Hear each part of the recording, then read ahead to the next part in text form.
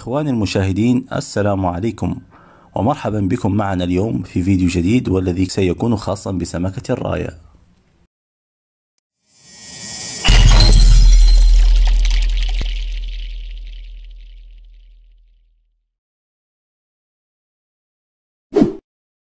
سمكة الراية. وباللغة العربية كتسمى سمك الراي. وهي من الأسماك الغضروفية. وذات صلة بسمك القش وكتصنف إلى عدة أنواع وهي كتعيش في المياه الضحلة الرملية في المناخ المعتدل وكتزيد احتمالية وجودها عندما تكون المياه دافئة.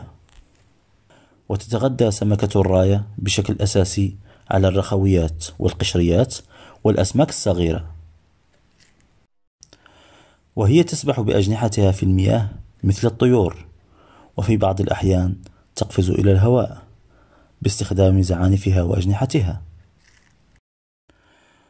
وكيحتوي اللحم ديال سمك الراية على الكثير من فيتامين دي والفيتامين باء والفوسفور. ومن منافعها أيضا أنها كتساعد في علاج ألام المفاصل وتساعد في بناء الغضروف المتآكل في الركب والمفاصل. ويستخدم أيضا جلدها في صناعة الأحذية والأحزمة والمحافظ والسترات. نظرا لما يتميز به من أنسجة جلدية قوية ومتينة. وكتصنف سمكة الراية إلى عدة أصناف. والآن أعزائي المشاهدين غادي نتعرفوا على ثلاث أنواع مشهورة هنا بالمغرب. وهذا النوع اللي كتشاهدوا في الصورة هو أغلى أنواع الراية وأكثرها جودة. والأنواع الأخرى كتعتبر فو ديالو. وهذا النوع كما كتشاهدوا كيتميز أنه عنده ألوان مزكرشة في الظهر ديالو. والذيل ديالو كيكون رقيق وطويل وفيه أشواك صغيرة في الذيل وفي الظهر. ولا قلبنا غتشوف البطن ديالو كيكون أبيض أبيض والجوانب ديالو حمراء. هذا هو أغلى أنواع الراية وأكثرها جودة. والثمن ديالو كيتراوح من 15 درهم حتى 25 درهم للكيلوغرام.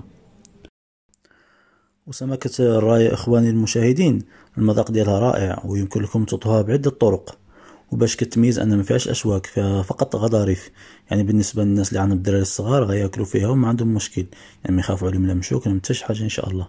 وهذا النوع هذا من أنواع الرايه كيتسمى تريسنتي وهو من فور أنواع فرايه وكيتميز أنه كيضرب بالكهرباء. يعني في تيار كهربائي كيضرب به ملي كيكون حي. وهو الجودة ديالو ناقص على الرايه كيكون فيه الشحمة كثيرة فيه الشحمة.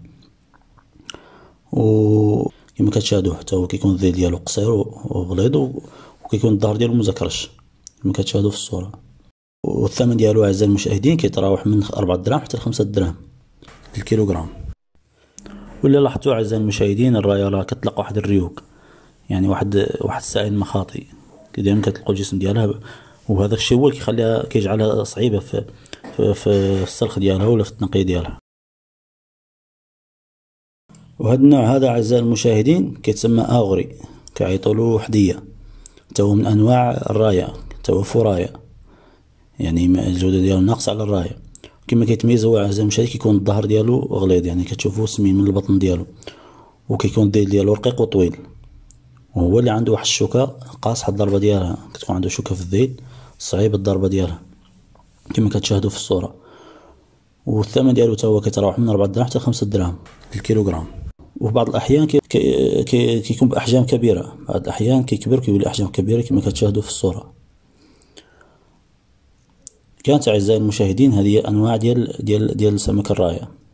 هذه الأنواع ديال سمك الراية. يعني كاين الراية وكاين الفرايه يعني. والراية الأصلية راه هي اللي فيها الفيتامينات وفيها الفوائد كثيرة. مقارنة بالفراية كيكون ناقص شوية عليها.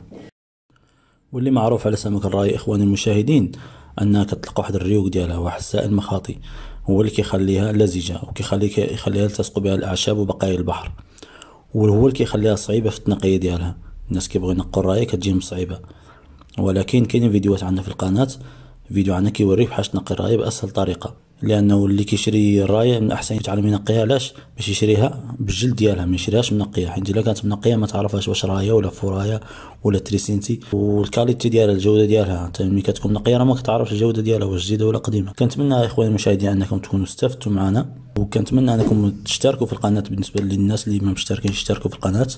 وتضغطوا على زر الإعجاب والجرس باش يوصلكم كل جديد وشكرا على المشاهدة والسلام عليكم ورحمة الله.